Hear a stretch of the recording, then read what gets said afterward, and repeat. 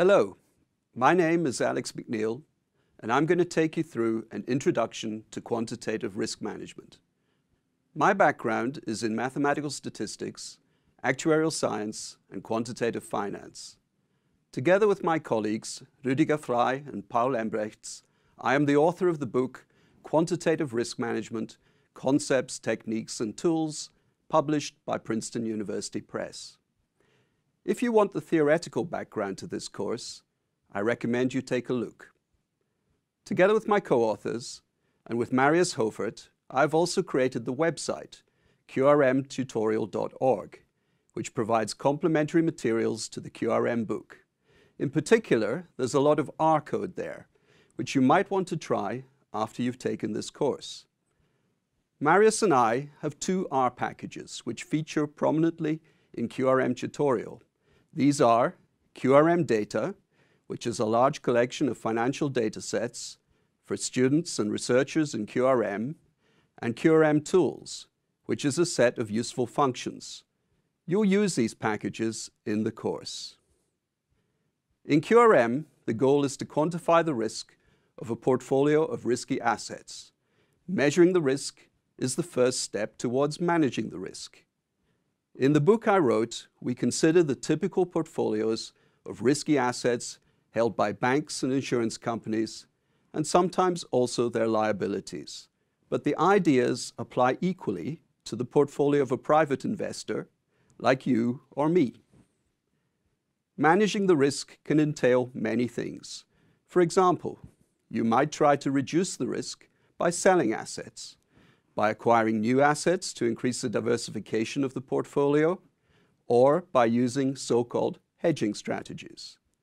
For the banks and insurers, an important part of managing risk is making sure they have sufficient capital to withstand large losses on their portfolios and remain solvent. For this purpose, they compute measurements of the amounts that they could lose in periods of extreme market stress. A well-known example of one of these risk measures is value at risk. In this course, you will work up to calculating value at risk for portfolios. To begin with, it is important to consider where the risk in a portfolio comes from. So think of a portfolio of risky assets. It might contain some stock index trackers, some individual stocks, some government bonds or treasuries, some corporate bonds. It might contain assets denominated in domestic currency and some denominated in foreign currencies. It might contain commodities like gold. It might contain some derivative securities designed to hedge risk or speculate on price movements, such as equity options. The value of this portfolio at any point in time depends on the fluctuating values of many underlying quantities, which we call risk factors. Examples of risk factors are equity indexes, individual equity prices, foreign exchange rates, interest rates for different borrowing periods, in the case of bonds, and commodity prices. Let's load the QRM data package and then the dataset SP500. This contains daily values of the well-known equity index based on 500 of the most important US stocks. Using head and tail, the first few lines and the last few lines of the data can be displayed.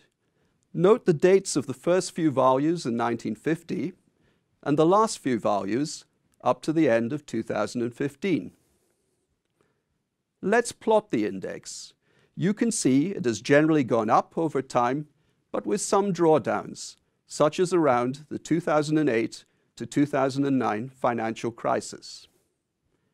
Now it's your turn to work through the exercises and explore some financial risk factor data. You'll look at another stock index, some individual equity prices, and a couple of exchange rates.